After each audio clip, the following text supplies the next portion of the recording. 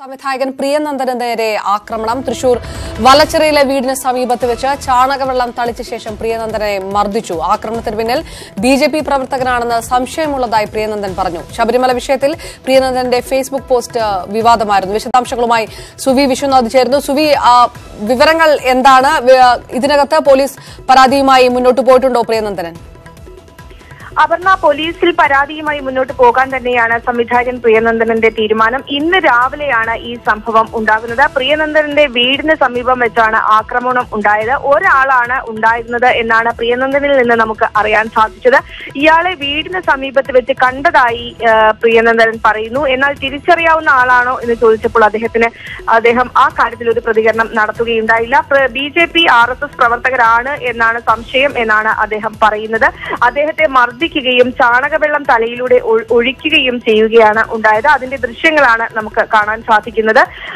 അതിനുശേഷം അദ്ദേഹത്തെ അദ്ദേഹത്തെ ശകാരിക്കുകയും ചെയ്തു. അതിനുശേഷം ആൾ സ്ഥലം വിട്ടു എന്നാണ് അറിയാൻ സാധിക്കുന്നത്. ഏതായാലും വല്ലച്ചിറ പോലീസ് സ്റ്റേഷനിൽ പ്രിയനന്ദനൻ പരാതി നൽകും. അതിനു മുമ്പ് ഇപ്പോൾ ചേർപ്പ് ആശുപത്രിയിൽ അദ്ദേഹം അദ്ദേഹം പരിശോധനയ്ക്ക് വിധേ ഡോക്ടറെ കാണും എന്നാണ് അറിയിച്ചിരിക്കുന്നത്. കഴിഞ്ഞ ഏതാനും ദിവസങ്ങൾക്ക് മുമ്പാണ് ആ, ശബരിമല വിഷയവുമായി ബന്ധപ്പെട്ട് ഒരു വിവാദമായ പോസ്റ്റ് പോസ്റ്റ് ഫേസ്ബുക്കിൽ പ്രിയനന്ദനൻ കുറിക്കുന്നത്.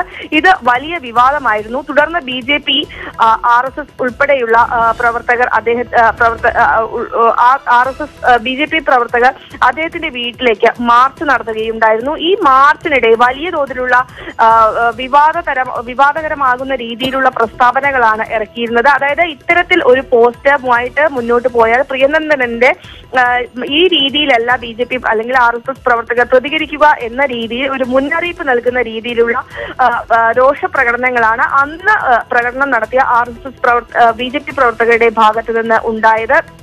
അതിനുശേഷം പ്രിയനന്ദനൻ ഈ എഫ് ബി പോസ്റ്റ് പിൻവലിച്ചിരുന്നു. പ്രധാനമായും അദ്ദേഹം പിൻവലിക്കുമ്പോൾ പറഞ്ഞ ഒരു കാരണം ആ എഫ് ബി പോസ്റ്റിൽ അദ്ദേഹത്തിന്റെ എഴുതിയ ഭാഷ ശരിയായില്ല എന്ന് മാത്രമാണ്. പക്ഷേ മാപ്പ് പറയാൻ തക്ക തെറ്റ് താൻ ചെയ്തതായി താൻ താൻ കരുതുന്നില്ല.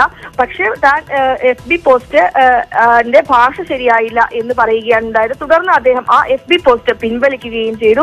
ഇപ്പോൾ ഏതാനും ദിവസങ്ങൾ കഴിഞ്ഞ് അദ്ദേഹത്തിന് നേരെ ആക്രമണം ഉണ്ടായിരിക്കുന്നു. അദ്ദേഹം ഒരു ചാണകവെള്ളം അദ്ദേഹത്തിന് നേരെ ചാണകവെള്ളം ഒഴിക്കുകയും മർദ്ദിക്കുകയും ശകാരിക്കുകയുമാണ് ഉണ്ടായത്. വീടിന് സമീപത്തുള്ളവരാണ് എന്നാണ് പ്രിയനന്ദനിൽ നിന്ന് നമുക്ക് അറിയാൻ സാധിക്കുന്നത്. ഏതായാലും ഈ വിഷയത്തിൽ പോലീസ് ഇപ്പോൾ തന്നെ അന്വേഷണം ആരംഭിച്ചു കഴിഞ്ഞിരിക്കുകയാണ്. അപർണ.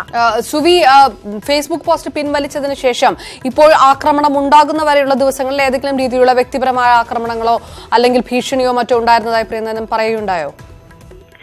അപർണ പ്രിയനന്ദനിൽ നിന്ന് തനിക്ക് നമുക്ക് അറിയാൻ സാധിച്ചത് കഴിഞ്ഞ ദിവസങ്ങളിലല്ല ഒരു ഒരു ഒരു അറ്റാക്കിംഗ് പോയിന്റിലാണ് താൻ നിൽക്കുന്നത് എന്ന തോന്നൽ ഉളവാക്കുന്ന തരത്തിലുള്ള ഒരു സാഹചര്യമാണ് ഉണ്ടായിരുന്നത് എന്നാണ് അറിയാൻ സാധിച്ചത്. പക്ഷെ ഇപ്പോഴാണ് തന്നെ നേർക്ക് ഒരു ആക്രമണം ഉണ്ടായിരുന്നത്.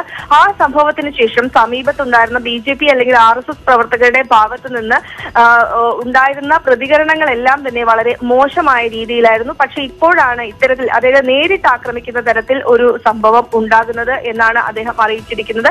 പ്രത്യേകിച്ച് നമുക്ക് അന്ന് ആ, പ്രകടനം നടന്ന ദിവസങ്ങളിൽ ബി അഡ്വക്കേറ്റ് ബി ഗോപാലകൃഷ്ണൻ ഉൾപ്പെടെയുള്ളവർ ഉപയോഗിച്ച ഭാഷ കണക്കിലെടുക്കുകയാണെങ്കിൽ ഈ രീതിയിൽ അതായത് ഇത്തരത്തിൽ ഫേസ് ഫേസ്ബുക്ക് പോസ്റ്റ് അതായത് അന്ന് അദ്ദേഹം പറഞ്ഞ വാക്കുകൾ ഇതാണ്. അയ്യപ്പന്റെ അമ്മയെ ഈ രീതിയിൽ മോശമായി വ്യക്തിഹത്യ മോശമായ രീതിയിൽ പറയുന്ന പ്രവണതയുമായി പ്രിയനന്ദനൻ പോവുകയാണെങ്കിൽ ഈ രീതിയിൽ മുന്നോട്ട് പോകാൻ ഞങ്ങൾ ഒരിക്കലും അനുവദിക്കില്ല എന്ന തരത്തിലുള്ള ഒരു ഒരു ഒരു ഒരു പ്രതികരണമാണ് അന്ന് ബി ജെ പി പ്രവർത്തകരുടെയും ആർ എസ് പ്രവർത്തകരുടെയും ഭാഗത്തു നിന്നുണ്ടായത്. വളരെ സംഘർഷാവസ്ഥയായിരുന്നു അന്ന് ആ ദിവസങ്ങളിൽ ഉണ്ടായിരുന്നത്. അത് നമുക്ക് നേരിട്ട് തന്നെ ബോധ്യമുള്ള കാര്യങ്ങളുമാണ്. അതിനുശേഷം ഉണ്ടായിരുന്ന ദിവസങ്ങളിൽ പ്രിയനന്ദനിൽ നിന്ന് തന്നെ നമുക്ക് അറിയാൻ സാധിച്ചത് അത്തരത്തിൽ അതായത് ഒരു ഒരു ഒരു ആക്രമണ സാധ്യത നിലനിന്നിരുന്നു. പക്ഷെ തനിക്ക് നേരെ നേരിട്ട് ഒരു ആക്രമണം നടക്കുന്നത് ഇപ്പോഴാണ് എന്നാണ് സുവി ആക്രമണം നടത്തിയത് സംഘമായിട്ടല്ല പകരം അറിയുന്ന ഒരാളാണ്. അത് ബി ജെ പി പ്രവർത്തകനാണ് സമീപവാസിയായിട്ടുള്ള ഒരാളാണ്. അതാണ് ഇപ്പോൾ നമുക്ക് ലഭിക്കുന്ന